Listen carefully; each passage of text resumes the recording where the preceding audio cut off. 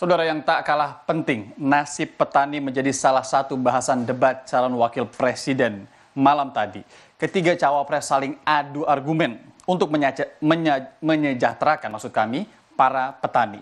Tapi di Madiun, Jawa Timur sebanyak 668 km dari lokasi debat, petani masih berkutat dengan pupuk subsidi yang masih sulit didapat.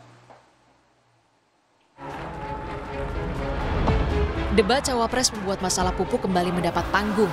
Ketiga calon wakil presiden sama-sama memperlihatkan kepedulian soal petani plus pupuknya. Petani kita harus kita beri pupuk yang cukup dengan harga yang terjangkau. Bahkan banyak petani punya duit sebetulnya tapi pupuknya tidak ada. Bagaimana mungkin? Yang kedua potensi pupuk organik juga menjadi salah satu bagian penting agar produksi pertanian kita semakin berkualitas.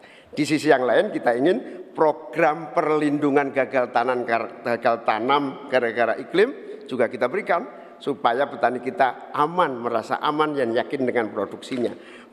Enak banget ya Gus ya, jawabnya sambil baca catatan tadi.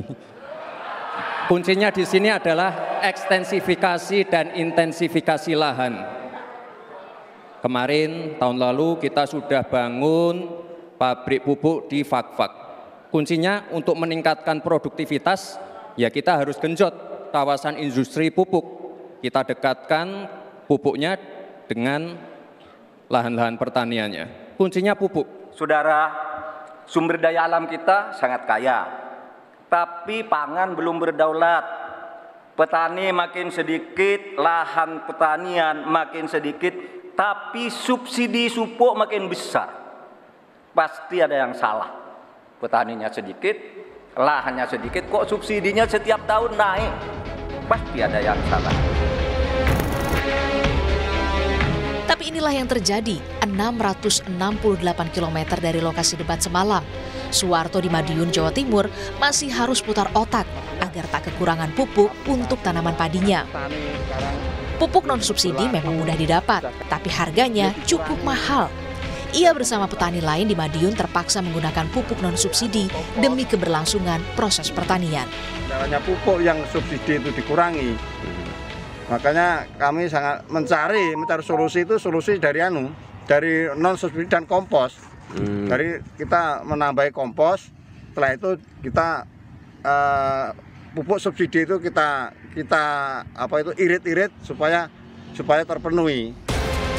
Ketua kelompok tani nelayan andalan Kabupaten Madiun menyebut kondisi ini terjadi akibat pengurangan jumlah alokasi pupuk bersubsidi pemerintah. Bukan hanya jatahnya berkurang, hampir setengahnya.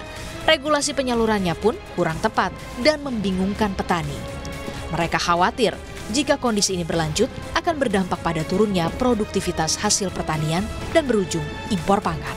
Saya sendiri selaku KTNA ini berpikir apakah ini ada sebuah eh, kesengajaan agar petani ini menjadi kolap ya, menjadi bingung, menjadi panik yang ujung-ujungnya nanti akhirnya kan eh, hasil petani ini akan menjadi menurun gratis. Hmm. Otomatis nanti ada ketahanan pangan nasional akan bisa kolap juga. Hmm. Nah, ini apakah ini ada penggede-penggede ini hanya kesenangannya import gitu karena kan mudah toh import badinya banyak diberikan untuk bansos dan sebagainya apakah kita harus seperti itu Mungkin ibarat pepatah, gajah saat ini bertarung memikat pemilih di pemilu 2024. Gunakan hak suara dengan baik agar tak ada cerita pelanduk mati di tengah.